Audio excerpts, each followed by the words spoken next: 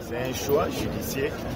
Euh, Bahati Lukwebo vient apporter un plus au sein euh, du Sénat, euh, redorer les conditions de vie des sénateurs d'abord, et puis euh, la vie, les conditions de vie des personnels du Sénat, et puis une bonne collaboration entre le Sénat et l'Assemblée nationale, une bonne collaboration entre le Sénat et les assemblées provinciales de la République démocratique du Congo, y compris la collaboration entre le Sénat et l'institution à présidence de la République. Donc s'il y a cette symbiose, nous allons faire avancer euh, l'institution du Sénat. Et puis, le Sénat aussi a, a aussi le pouvoir de contrôle parlementaire. Les sénateurs, les sénateurs contrôlent aussi les, les mandataires de l'État.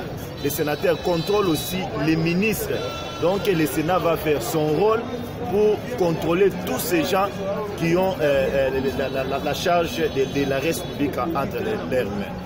Donc demain, nous sommes sûrs et certains que le ticket Bahati va gagner. Bon, gagner, ce sont les élections. Nous appelons ici à la conscience des, des sénateurs d'abord. Et il faudra que les sénateurs soient nombreux dans la salle pour que les sénateurs modestes soient votés à une majorité. C'est ce qui donne même la légitimité. Donc nous, nous, appelons aux sénateurs d'être nombreux dans, la salle pour voter euh, les sénateurs modestes Bahati sur base de son programme qu'il va présenter parce que c'est un monsieur qui n'a jamais été trempé dans, dans la corruption, il n'a jamais été conflictuel, c'est un rassembleur. Je pense que tous ces éléments, il va les amener au sein euh, du Sénat pour un vent nouveau qu'il a en train d'apporter. Okay, merci, Maître Bass.